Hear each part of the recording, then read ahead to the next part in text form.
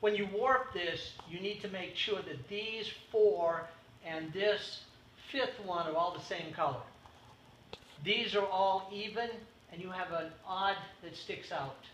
To start it, whether it's at the very beginning or into it, you take these two, you take the outside one, and you move it in.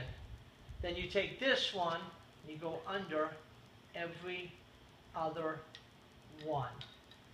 Going slowly so you can follow this. When you get to the end, you take this one, tighten it, and then you take the one that was out to the right, and it fills the blank space. At that point, you take these two from this side, take this one, move this one in, and go under every other one. This is why you need to have the outside two always the same color, because they're also your weft. And tighten it. Move this one down. Take these two, pick this one up, move this one over, and do it again. And you just keep doing it.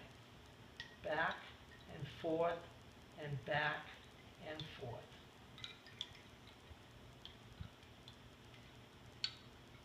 Up, tight, fill, and back the other way. Your bobbins will sometimes just get hung up, but that's just the way bobbins are. When your bobbins get too close to the top, or when you need to roll it, you just roll it. I like this design on this one because when you're ready to go up, you lift, you turn, and it keeps the tension on it so it doesn't unroll.